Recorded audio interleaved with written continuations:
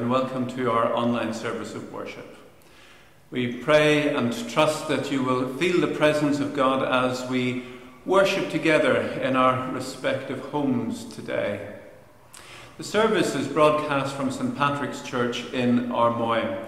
It's part of a group of parishes which also um, comprise of Drumtullagh Church and All Saints in Loughguile. A little later on in our service, we're going to be looking at Mark chapter 11, which is the story of Jesus' entry into Jerusalem. And we're going to be examining how Jesus was welcomed that day. Our worship this morning follows the Book of Common Prayer's morning prayer. Although we're going to put everything up on the screen, if you prefer to follow it from your prayer book, then you will find the start of the service on page 101.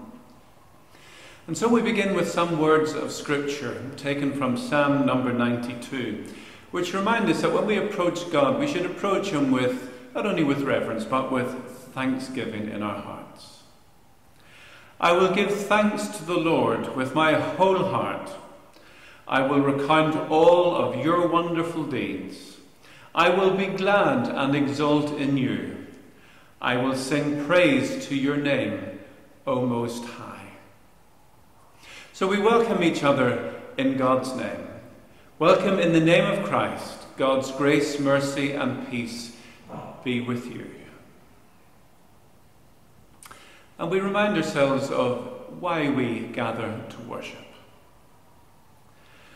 Beloved in Christ, we come together to offer to Almighty God our worship and praise and thanksgiving, to confess our sins and to be forgiven to hear his holy word proclaimed, to bring before him our needs and the needs of the world, and to pray that in the power of the Spirit we may serve him and know the greatness of his love.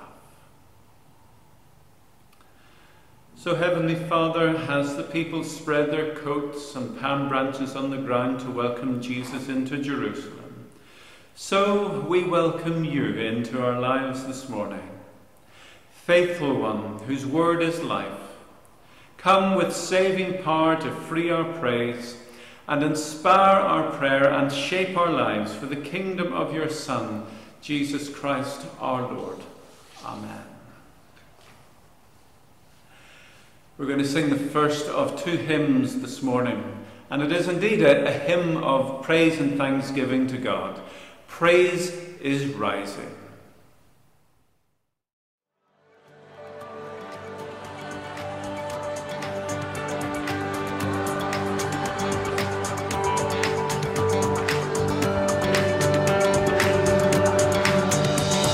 Praise is rising, eyes are turning to you we turn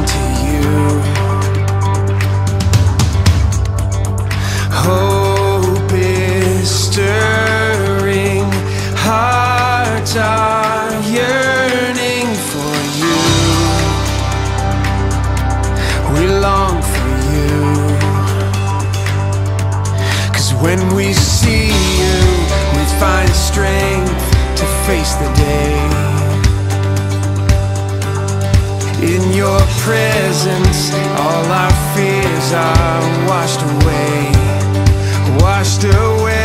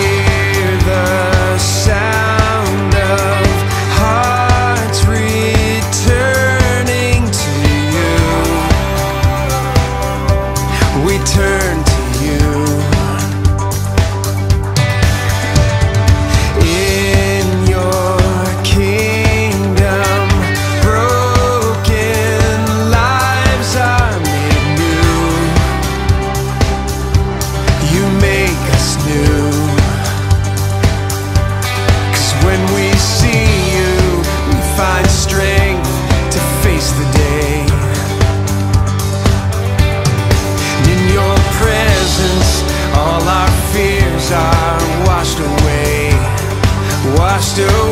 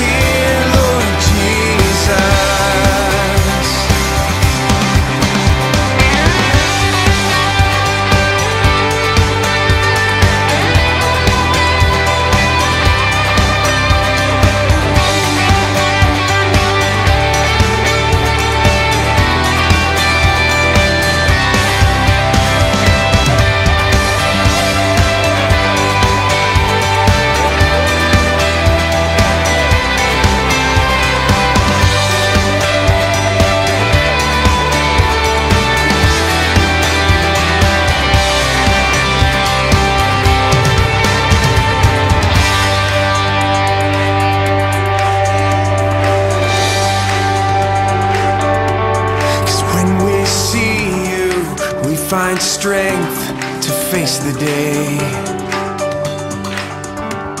And in your presence, all our fears are washed away. Cause when we see you, we find strength to face the day. And In your presence, all our fears are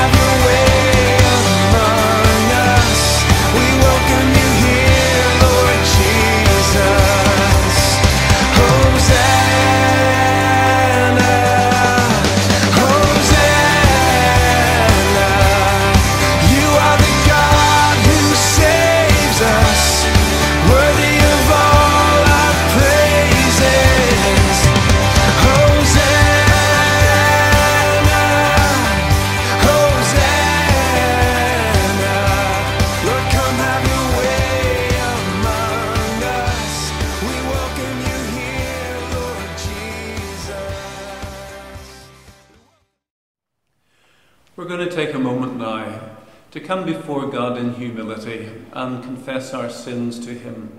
The Bible tells us that all have sinned and fallen short of God's glory. So it's something that we should all do on a regular basis. We're going to put some words of a confession up on the screen, but before we say those together, let's just take a moment of stillness, each of us, in the presence of God, recollecting those things that we most especially need to say sorry to Him for right now.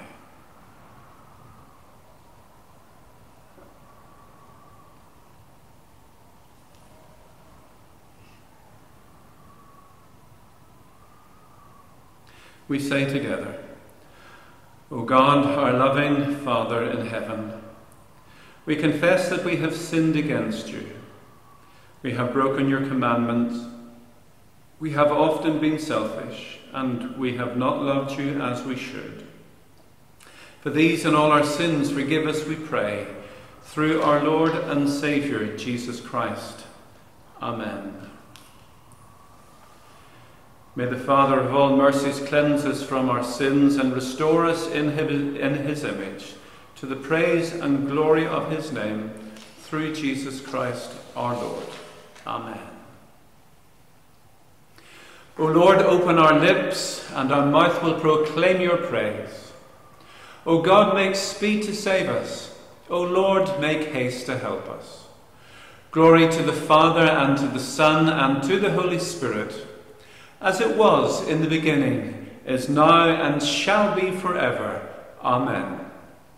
Praise the Lord. The Lord's name be praised. We're going to use some words of praise that we find in Psalm 118. And we're going to put these words on the screen and we'll say them together. Open for me the gates of the righteous. I will enter and give thanks to the Lord. This is the gate of the Lord through which the righteous may enter. I will give you thanks, for you answered me. You have become my salvation. The stone the builders rejected has become the cornerstone. The Lord has done this, and it is marvelous in our eyes. The Lord has done it this very day. Let us rejoice today and be glad. Lord, save us.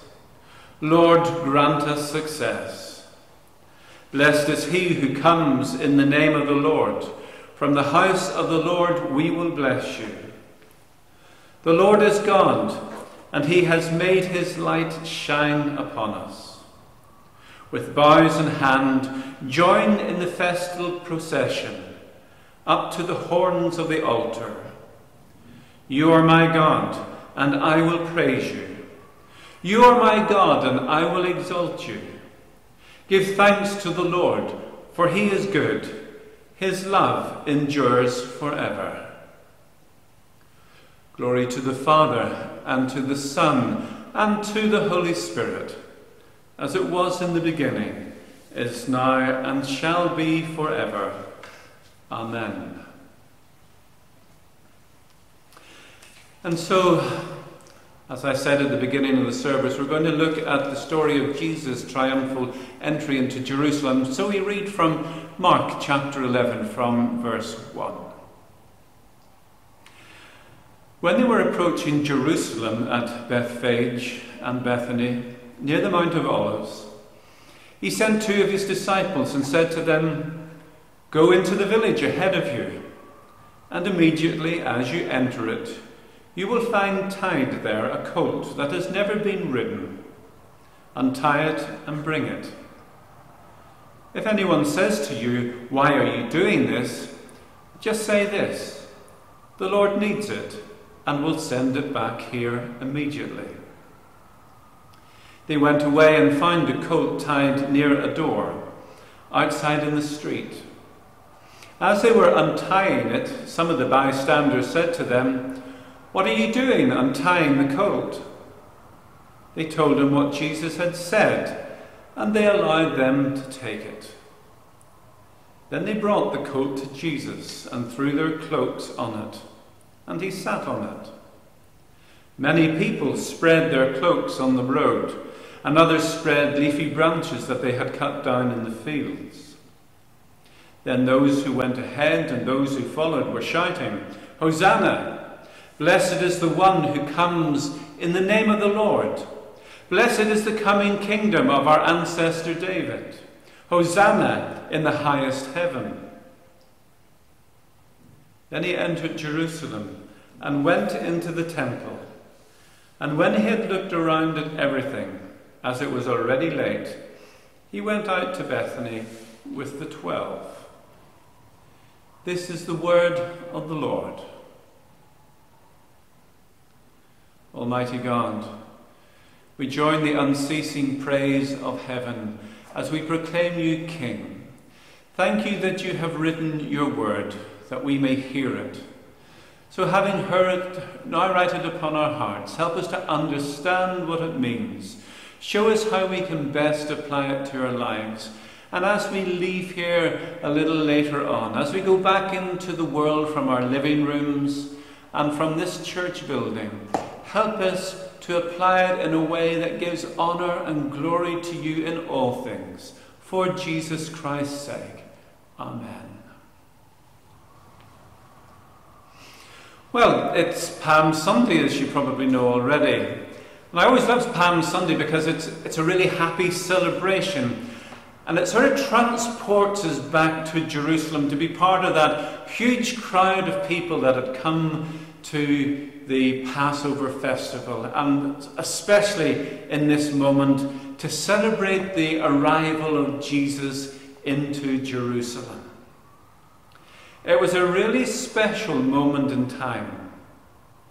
Word on the street was that Jesus had recently raised a man called Lazarus from the dead. And they wanted to see this man for themselves, to see the man who could raise somebody else from the dead. And they were thinking, the only person capable of raising somebody else from the dead's got to be the Messiah. So, so maybe this Jesus is the Messiah. We, we need to get a glimpse of, of this Jesus.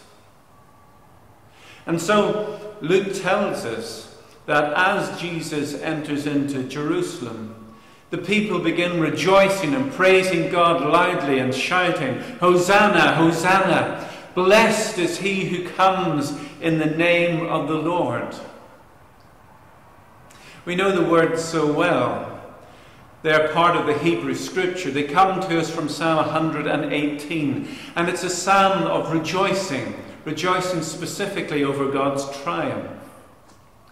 And I think that without doubt, the people in this large, excited crowd that lined the, the way into Jerusalem as Jesus made his way there on a donkey would have been thinking about these words. And they were using these words to make a declaration. They were using these words to proclaim that this man, Jesus, who had raised another man called Lazarus from the dead, must be the Messiah. And that, of course, is why the Pharisees are, are rounding on Jesus. They're looking at Jesus and saying, Look, can't you see what's going on here? Can you not hear what the people are saying about you? They think you're the Messiah. They think that you're the Savior, the one that's come to save them. Now put an end to this nonsense. Tell them to shut up. Tell them to go away. Tell them to tell them that you're not the Messiah. But of course, Jesus doesn't stop them. He doesn't tell them to be quiet or to go away. He simply says, Look, if I tell the people to stop shouting these praises, even the very rocks and the, in the hills around the city would cry out and testify to that fact. Because, of course, Jesus is the Messiah, and he has come to Jerusalem to die on a cross and to save his people. And Jesus was very clearly saying to the crowd and to every one of us, I am your king. And here's the thing about this message it still stands. Jesus still says, I am your king.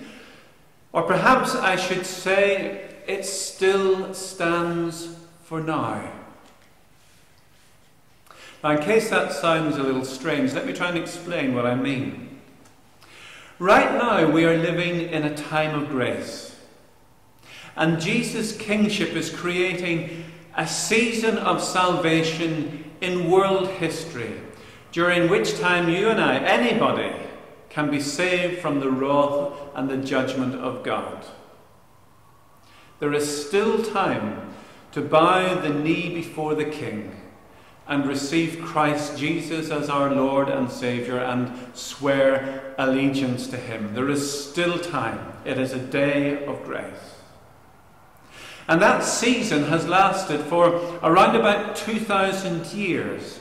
Now, you may think that that sounds like a long time, but let's give it some perspective. So long, in fact, that you feel it's, it's maybe a permanent state of affairs. But first of all, Put 2,000 years beside eternity, and it is the briefest of moments. Those 2,000 years are nothing more than a, a blink of an eye. And secondly, we need to remember that this is not a permanent situation. It is not a, a permanent state of affairs. This is not going to last indefinitely. The day is going to come, and perhaps quite soon, but nobody really knows, when the kingship of Jesus is going to be a whole lot different. Now, what do we mean by a whole lot different?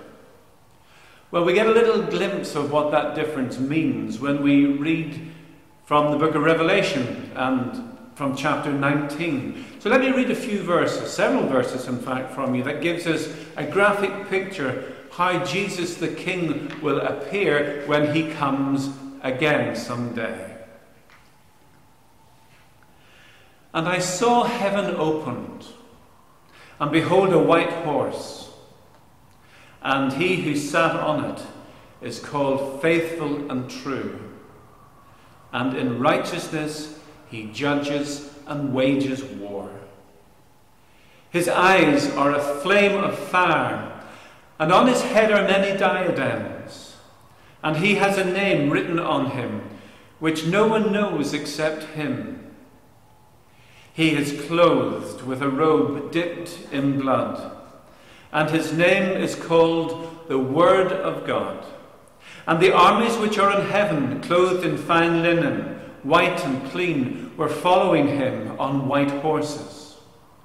From his mouth comes a sharp sword, so that with it he may strike down the nations, and he will rule them with a rod of iron and he treads the winepress of the fierce wrath of God the Almighty. And on his robe and on his thigh he has a name written King of Kings and Lord of Lords. Well, that's a very different description from the king that we see riding on a donkey into the streets of Jerusalem in our reading this morning. The king who will shortly be stripped, flogged, nailed to a cross. When the king of Revelation turns up, as he will, for when did God never keep his promises? It will be a different king. Well, the same king, but exhibiting different characteristics. And at that point, it will be too late to switch sides. And so, what Jesus is saying is that for now, he is meek and lonely. He is welcoming, he is seeking, he is forgiving, he is patient, he shows grace and mercy. And in a few days, he's going to go willingly and shed his blood on a cross to save all who accept his free gift of life. And until he comes again, this is the wonder of his kingship. It saves sinners. But one day, the Bible tells us that this same king is going to swap his donkey for a war horse. He's going to swap his tears of sorrow as he wept over Jerusalem for eyes of flaming fire. His crown of thorns is going to be replaced with a royal diadem. The plaque that had been written sarcastically above his cross, which said the King of the Jews, is going to be replaced. And written on his robes and on his thigh will be the words, King of Kings and Lord of Lords. But until he comes again, there is this moment of amnesty hanging in history when he continues to exercise patience and mercy and offer forgiveness and reconciliation with God. For now, Jesus still rides on a donkey, and not yet a war horse with a rod of iron. And he is, he is ready to save all who will receive him as Saviour, as King. So join the crowds who throughout all of history have shouted with, with enthusiasm, Hosanna, Hosanna. Shout Hosanna to Jesus this morning. It simply means, Lord, save me. Come to Jesus. Know him. Receive him Live your life in allegiance to Him. Amen.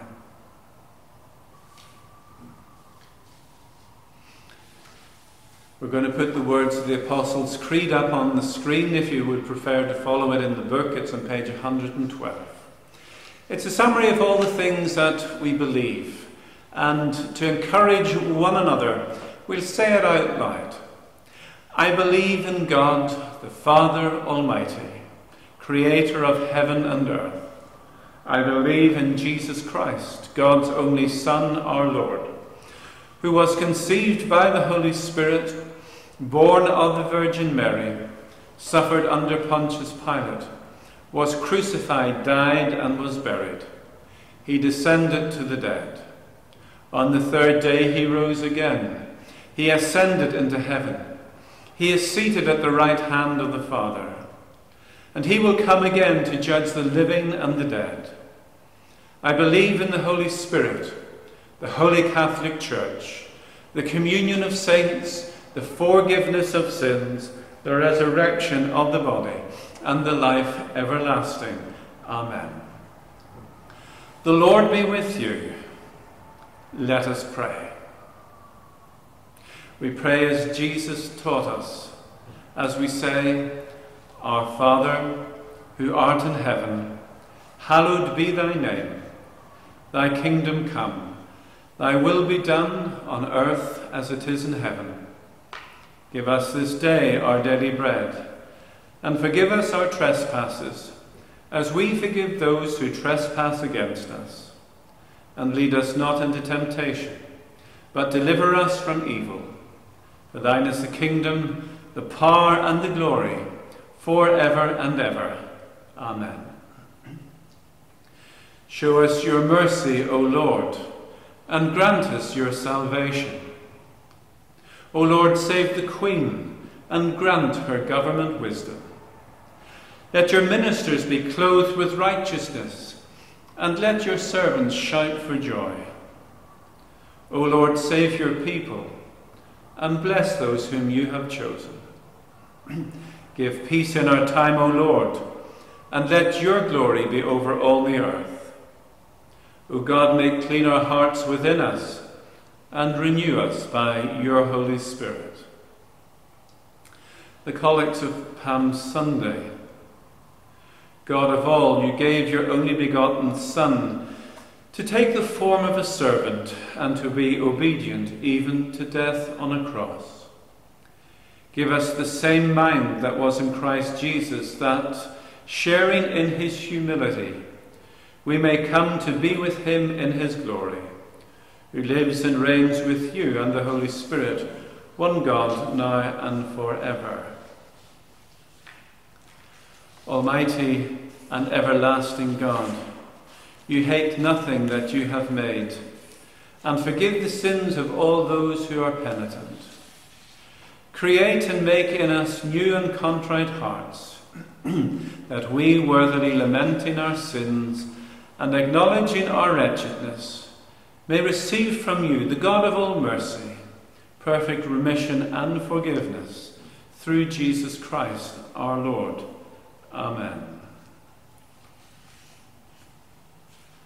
Heavenly Father, on this Palm Sunday, we rejoice that we have a King who reigns forever. Jesus, our friend, our Saviour, our Master. and so, Lord, we invite you to reign over us, over every aspect of our lives. That you would be the Lord of our thoughts, the Lord of our action, the Lord of our hearts, the Lord of all that we think, and do, and say and have. So help us as we journey towards Easter, not to forget what it cost you, the sacrifice that you made, the pain that you experienced, the price that you paid. For you have shown us the greatest mercy possible, the deepest compassion ever, the strongest love. You gave everything to us, you held nothing back. Help us to give back to you every day. Help us to love you with all our heart and soul and mind and strength. Help us to proclaim you as King over all the earth by showing others that you are King over our lives.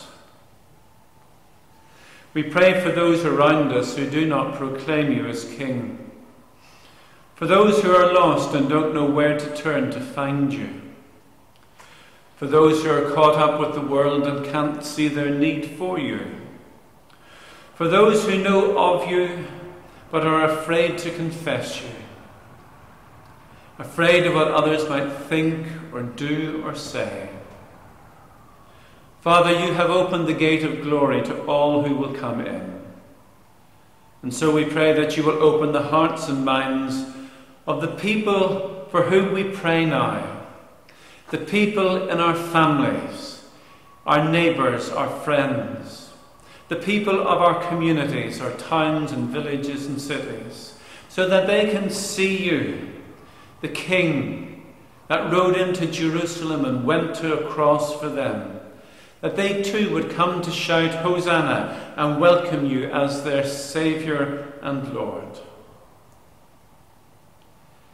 And we pray for those around us who are struggling this week, for those who endure pain, and those who know grief, for those who are frustrated with their circumstances. In the quietness of our hearts, we name those known to us and we pray that you will raise them up and strengthen them to meet the demands that each day brings forth. And finally, we pray for those around us, those sitting beside us in our homes, those who live in our hearts. Lord, bless them and keep them. Make your face shine upon them and be gracious to them. Lift up the light of your countenance upon them, and give them your peace, now and always. Amen. And we join together in the words of the first collect as we pray that God would protect and care for us. O God, the author of peace and lover of concord, to know you is eternal life, and to serve you is perfect freedom. Defend us in all assaults of our enemies, that we, surely trusting in your protection, may not fear the power of any adversaries, through Jesus Christ our Lord. Amen. And we pray for ourselves and for one another using the words of the grace. The grace of our Lord Jesus Christ, and the love of God, and the fellowship of the Holy Spirit be with us all evermore. Amen. And so to our second and final hymn on this Palm Sunday. All glory, laud, and honour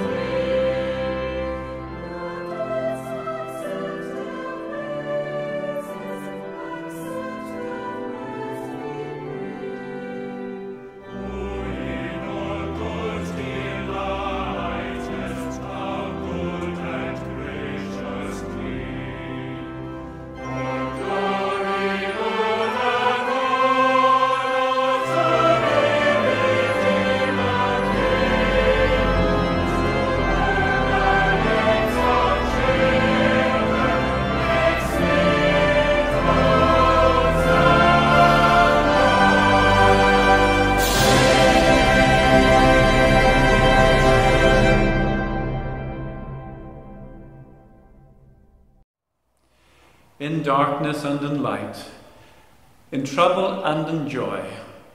Help us, Heavenly Father, to trust you, to trust your love, to serve your purposes, to keep praising your name through Jesus Christ our Lord. And the blessing of God Almighty, the Father, the Son, and the Holy Spirit be with you and those whom you love today and always. Amen.